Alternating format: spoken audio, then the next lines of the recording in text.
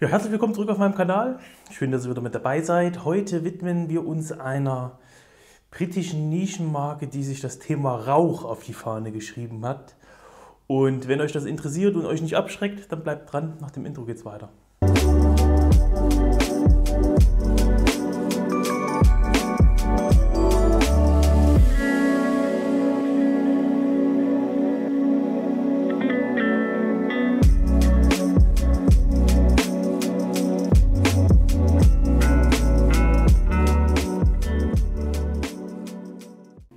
Ja, auch auf dem Weg nochmal herzlich willkommen zurück auf meinem Kanal. Mein Name ist Martin und hier dreht sich alles um das Thema Parfüm. Und wie ihr vor dem Intro gehört habt, wird es heute wieder rauchig. Man kann im Grunde genommen, also wenn ich jetzt etwas mehr Geschick beim Thema Videoanimation hätte, würde ich hier im Hintergrund irgendwelche Rauchschwaden ähm, durch die Luft fliegen lassen, denn es wird heute sehr, sehr rauchig. Wir nehmen uns heute drei Düfte der englischen Marke Beaufort London vor.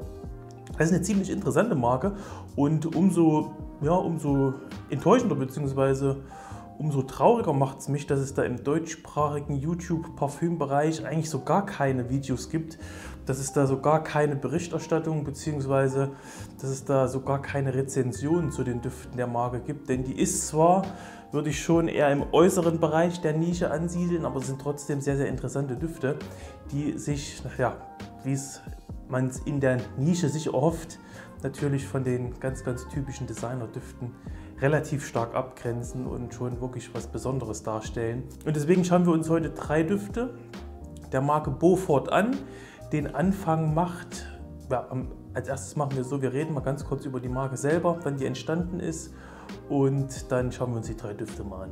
Ja, die Marke Beaufort London ist 2015 gegründet worden. Und das Interessante ist, hinter der Marke steht Leo Crabtree. Und Leo Crabtree kennen vielleicht die einen oder anderen als Schlagzeuger von der Band The Prodigy.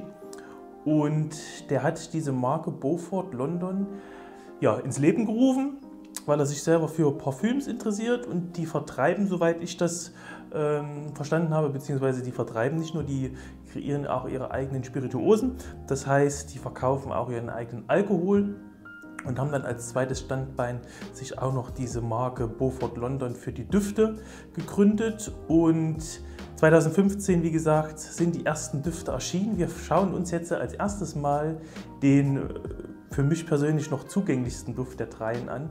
Und zwar ist das der Pfeffenby. Ja, ich habe leider von den ganzen Düften hier heute keine Flakons. Die habe ich alle nur als Abfüllung da.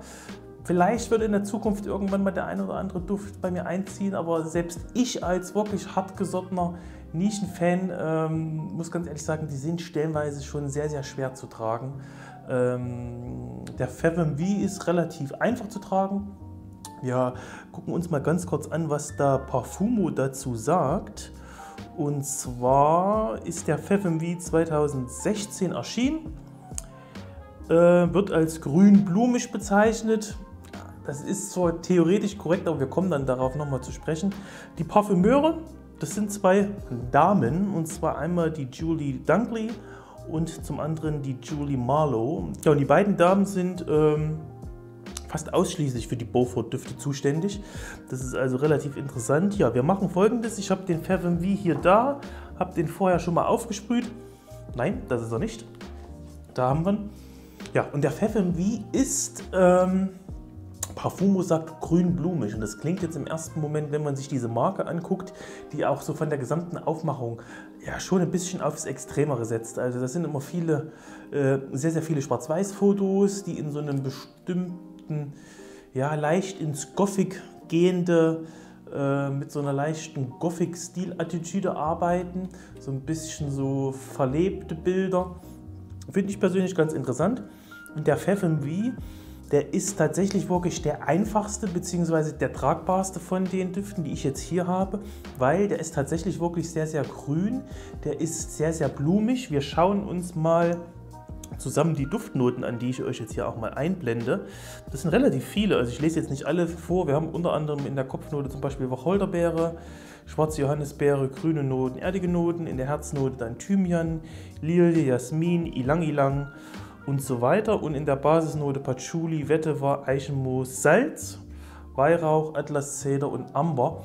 Und was wir da merken, der hat so eine gewisse grundlegende Thematik, die in Richtung Aquatik geht. Aber jetzt, Dings, jetzt muss man dazu sagen, das ist nicht die Aquatik, die man jetzt vielleicht von Düften wie ja, Aquadicio Profumo oder so kennt oder von Aquatik von den Bulgari-Düften, die ich persönlich eigentlich auch ganz gerne mag, zum Beispiel den Aquamarin, den mag ich sehr gerne. Das ist eine komplett andere Richtung in dem Sinne, denn wir haben hier eher so eine Aquatiknote, die wirklich ein bisschen an abgestandenes Blumenwasser erinnert.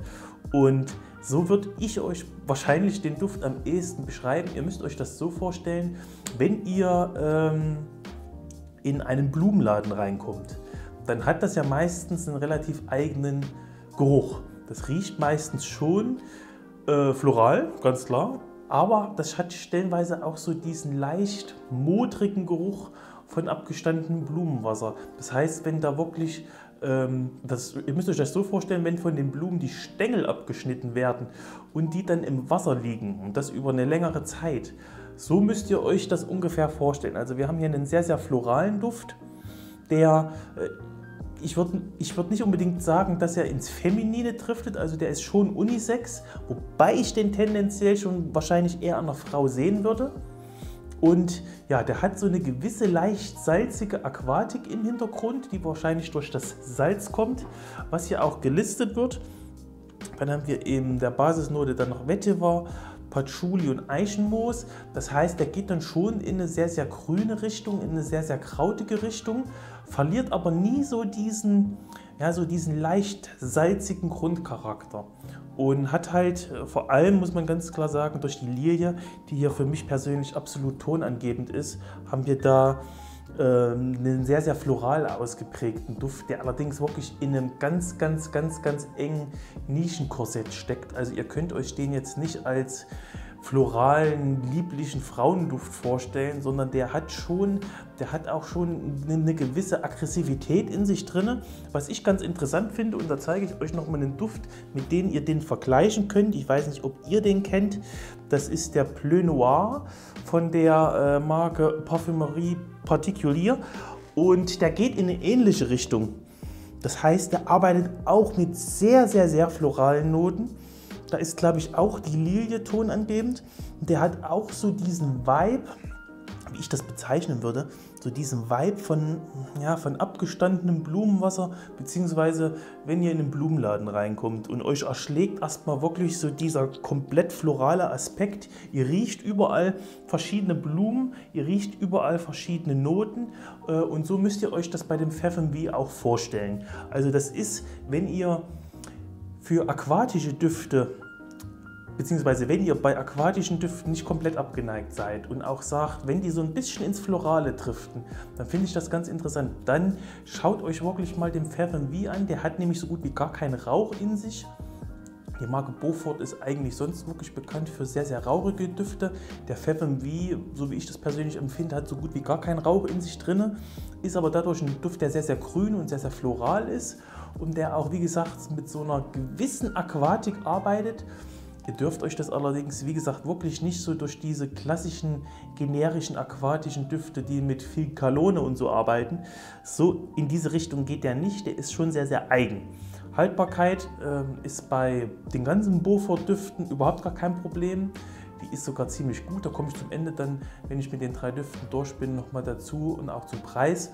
Und wir schauen uns jetzt mal den nächsten an den ich hier auch als Abfüllung habe und das ist der Viet Amis.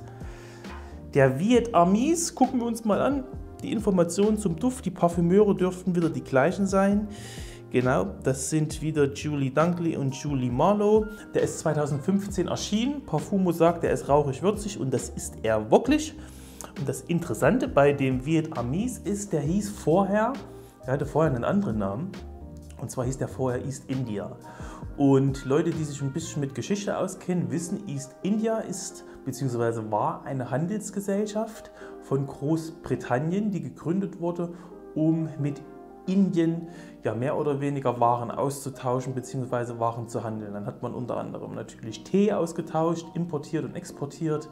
Man hat Alkohol exportiert und importiert und so weiter und so fort. Und das Interessante ist, dass diese Duftnoten, die jetzt in den Viet Armies drin sind, dass die auch die Duftnoten sind, beziehungsweise die Noten sind, ähm, die man da früher, und das war so um 1700 rum, die man da auf den Schiffen exportiert bzw. importiert hat. Wir schauen uns mal die Duftpyramide an, die ich euch jetzt ganz kurz einblende. Da haben wir in der Kopfnote schwarzen Pfeffer, wir haben Kardamom und wir haben Tee. In der Herznote haben wir Weihrauch, Opium, ist in dem Fall dann ein Opiumakkord natürlich, und Whisky, in dem Fall auch ein Akkord. Und dann haben wir in der Basisnote Birke, da kommt der Rauch her, neben dem Weihrauch natürlich. Wir haben Ud und wir haben Tabak. Und ich habe den hier auf dem, ich habe dem auf den Teststreifen drauf, den habe ich ungefähr eine halbe Stunde vor dem Video aufgesprüht. Und der ist absolut faszinierend. Und das ist wahrscheinlich der Duft, den ich bisher von Beaufort kenne, den ich persönlich am meisten mag, weil der absolut vielschichtig ist. Also das ist unglaublich. Ihr müsst euch das so vorstellen, der ist im ersten Moment sehr, sehr pfeffrig. Also der ist wirklich sehr, sehr pfefferlastig und das ist nicht so diese Art von Pfeffer, die man so ein bisschen in Düften hat, wo man dann sagt, ah, der hat eine gewisse Würze. Der knallt euch das Pfeffer wirklich beim ersten Sprüher direkt um die Nase. Also der ist wirklich sehr, sehr würzig, sehr, sehr scharf im Opening.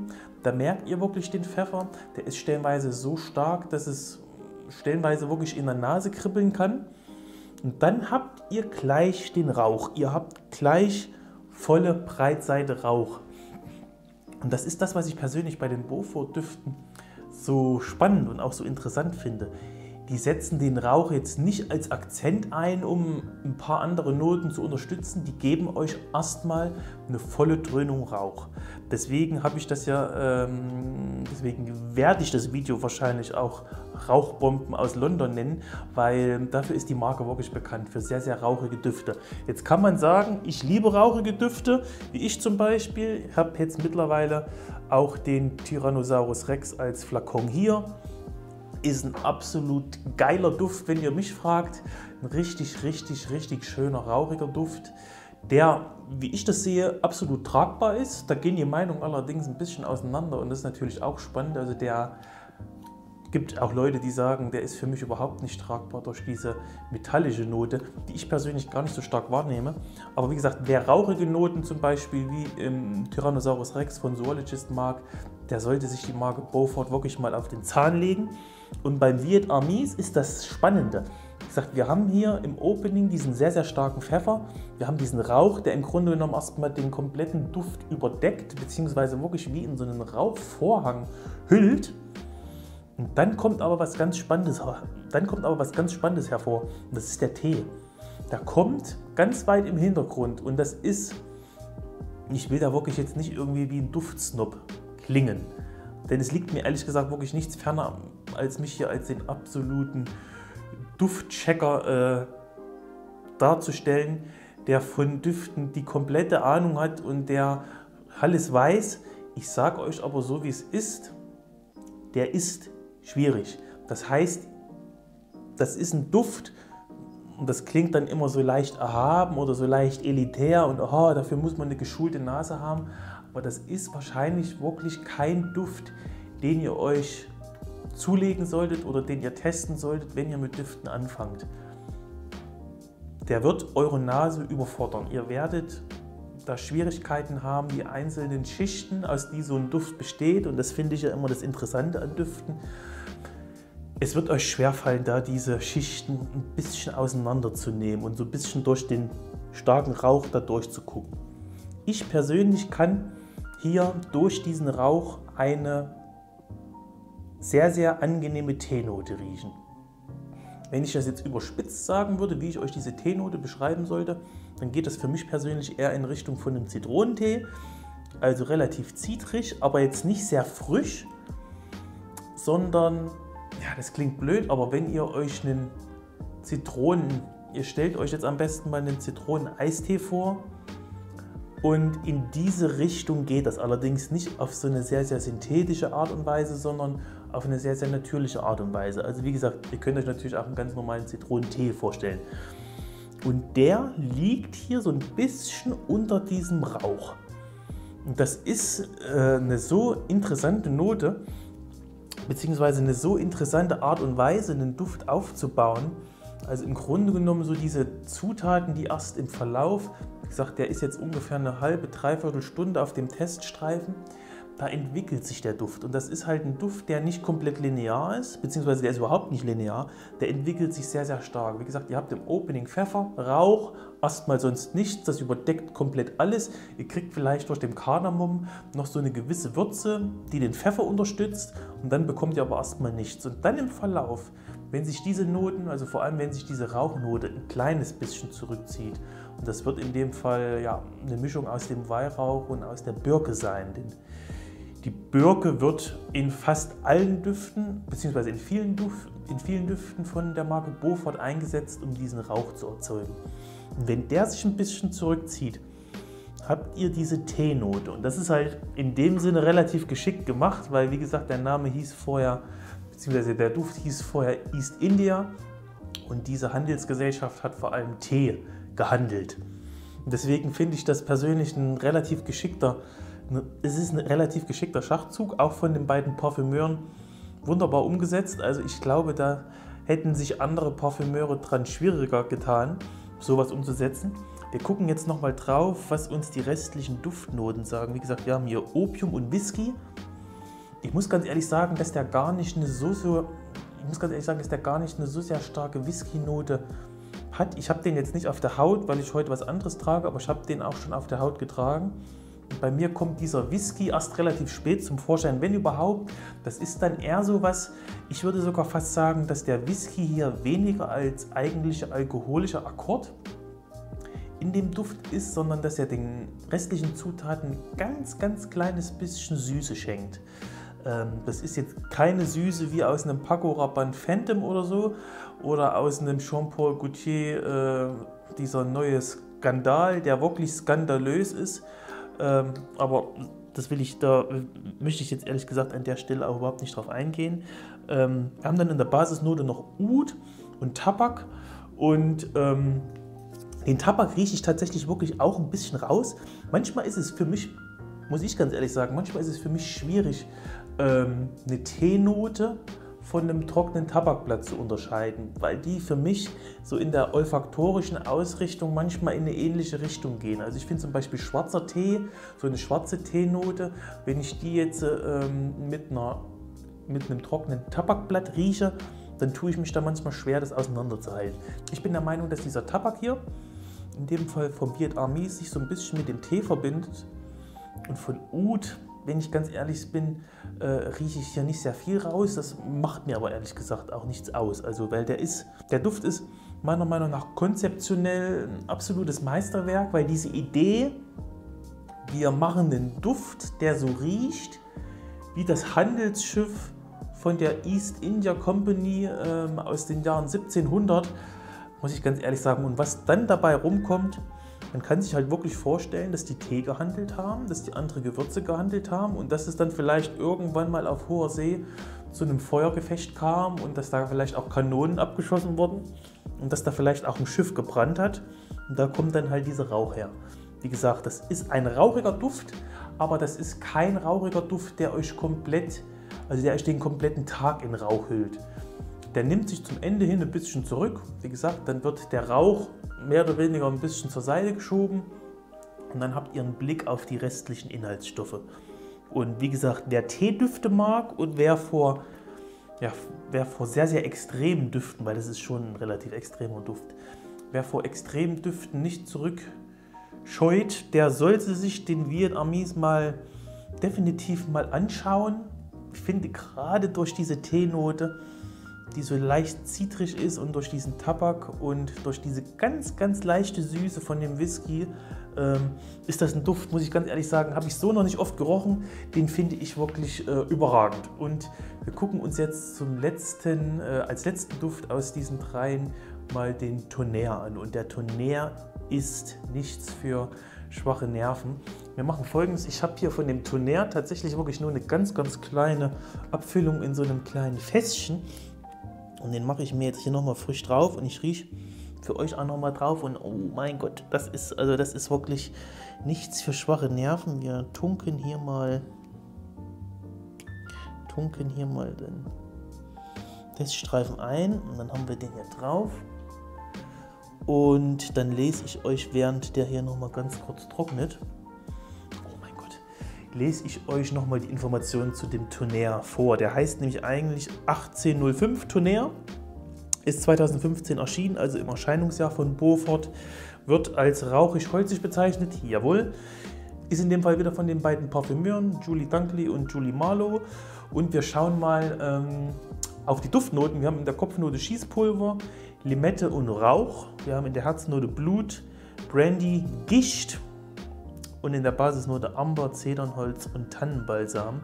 Und der ist von der Zusammensetzung, riecht der erstmal relativ anstrengend und der ist auch anstrengend. Das ist, das ist ein Duft, der wirklich sehr, sehr rauchig ist. Und ich muss euch jetzt hier nochmal diese Art von Rauchigkeit beschreiben, weil es gibt ja mehrere Richtungen von Rauch in Düften. Es gibt diese klassischen Weihrauchdüfte, von denen ich persönlich noch nicht mal so der größte Fan bin, weil ich mit Weihrauch halt immer Kirsche verbinde und mir diese Weihrauchdüfte manchmal sogar zu sehr ins Süße driften. Also der hier definitiv nicht.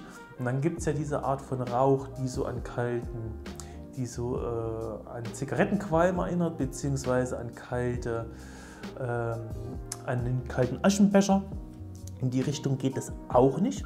Ihr müsst euch das so vorstellen, wenn ihr schon mal in der Fleischerei wart und ihr schon mal in einer Räucherkammer wart, wo Schinken zum Beispiel geräuchert werden oder wenn Fisch geräuchert wird gibt es ja auch. Es gibt ja so kleine Fischkammern, wo Fisch geräuchert wird.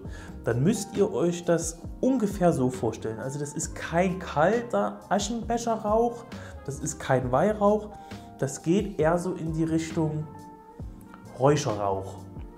Irgendjemand hatte mal auf Parfumo geschrieben, das riecht wie ein Schinkenbrot. Und das ist überspitzt, und der Duft riecht natürlich nicht nur nach Schinkenbrot, allerdings ist diese, ja, ist diese Bezeichnung, wenn man den Duft mal jemanden vorstellen will, der mit rauchigen Duften so gar keine Erfahrung hat, ist das vielleicht eine gar nicht so schlechte Assoziation. Also ihr müsst euch das schon so vorstellen, dass das in die Richtung von einem Barbecue geht, wo wirklich, wo wirklich Fleisch auf dem Smoker liegt und ihr kriegt diesen Smokergeruch. Beziehungsweise ihr nehmt diesen, Smoker, diesen Smokergeruch wahr. Und dann haben wir, und wirklich, das klingt absolut blöd, aber ich tue mich bei dem Tonnerre wirklich sehr, sehr schwer, euch, ähm, euch den Duft zu beschreiben, weil der besteht für mich die erste halbe Stunde oder die erste Stunde wirklich nur aus Rauch, nur aus diesen, nur aus diesen sehr, sehr beißenden Räucherrauch. Und deswegen finde ich persönlich den Tonnerre auch, ich will nicht sagen, dass er untragbar ist, aber im Grunde genommen will ich schon sagen, dass er untragbar ist.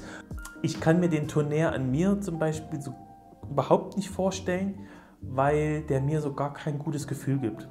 Das ist ein Duft, der finde ich sehr, sehr schwer riecht, der sehr, sehr schwarz riecht. Also das ist wirklich, wenn ich persönlich einen Duft kreieren müsste, der so das Gefühl von Dunkelheit bzw. von absoluter Schwärze ähm, darstellen soll, dann würde der in diese Richtung von dem Tonnerre gehen.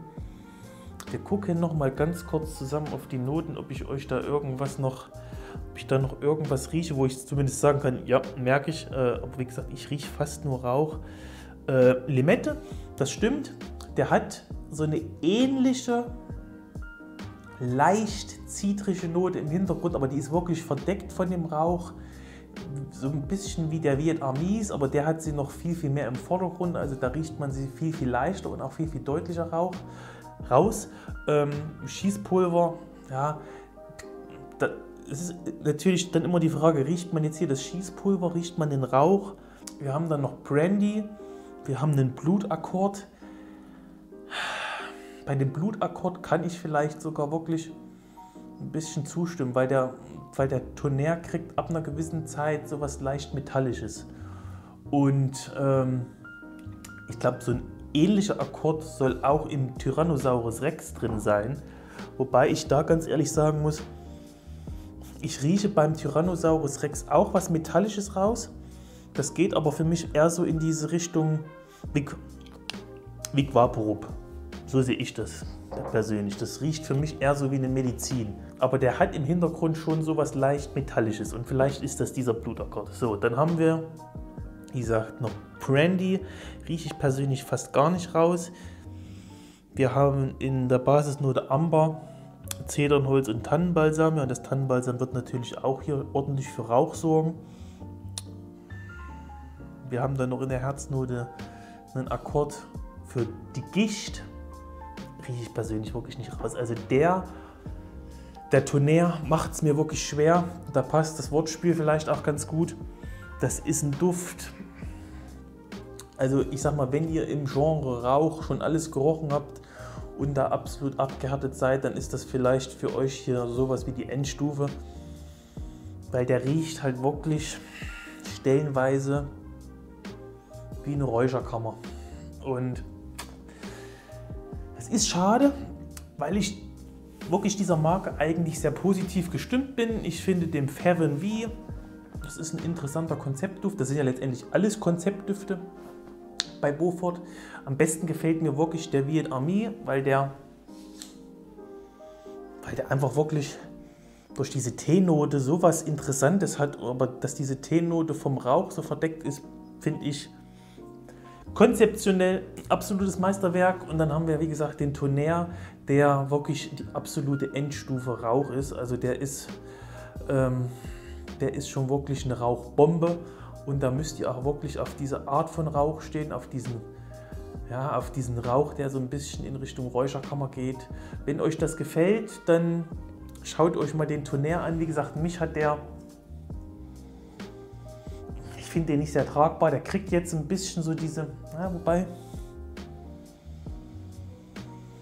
so eine Brandy-Note kann ich vielleicht wirklich, so eine leicht alkoholische Note kann ich schon wahrnehmen. Und wie gesagt, dieser Blutakkord ist wahrscheinlich dieses leicht metallische, aber den könnte ich persönlich wirklich nicht tragen. Und ich trage Düfte, die sind schon für die meisten relativ extrem. Also der Lone Star Memories ist ja auch ein rauchiger Duft, den ich, also ich sag mal, dagegen ist der Lone Star Memories absoluter Designerduft, der absolut gefällig ist. Und zum Preis zu kommen, die Beaufort Düfte gibt es jeweils immer nur in 50 ml Flakons.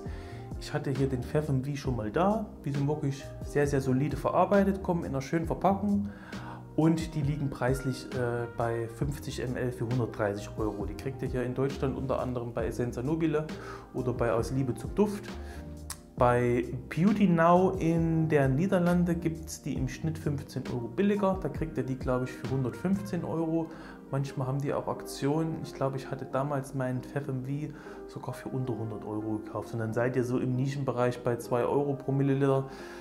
Das muss man im Grunde genommen eigentlich in Kauf nehmen, wenn man sich im Nischenbereich befindet. Deswegen, das ist meiner Meinung nach überhaupt gar kein Problem. Die Preise sind toll, die Haltbarkeit ist toll. Also der Tonnerre hält so seine 12, 14 Stunden. Der Viet Amis, ähm, so wie ich das wahrgenommen habe, hält auch seine 10 Stunden. Da gibt es gar keine Probleme. Und der FFMV liegt da im selben Bereich. Also die könnt ihr auf jeden Fall, wenn ihr die zwei, dreimal sprüht, habt ihr da in der Regel meistens wirklich ein zweistelliges Dufterlebnis, also meistens also an die 10 Stunden mindestens. Deswegen, ich hoffe, ich konnte euch die Marke ein bisschen näher bringen. Wenn ihr euch für rauchige Düfte im extremen Nischenbereich interessiert, dann schaut euch die Marke wirklich mal an. Die hat sehr, sehr interessante Düfte im Portfolio, die selbst für mich als jemanden, der gedacht hat, dass er ähm, sich mit rauchigen Düften sehr, sehr einfach anfreunden kann, haben die auch den ein oder anderen Duft, der schon eine Herausforderung darstellt. Aber gerade das finde ich ehrlich gesagt auch so spannend. Und mich würde es interessieren, ob ihr schon mal den Duft von der Marke gerochen habt. Wenn ja, welchen? Schreibt mir das einfach mal in die Kommentare und wir sehen uns dann hoffentlich beim nächsten Video. Und bis dahin wünsche ich euch wie immer eine gute Zeit. Also macht's gut.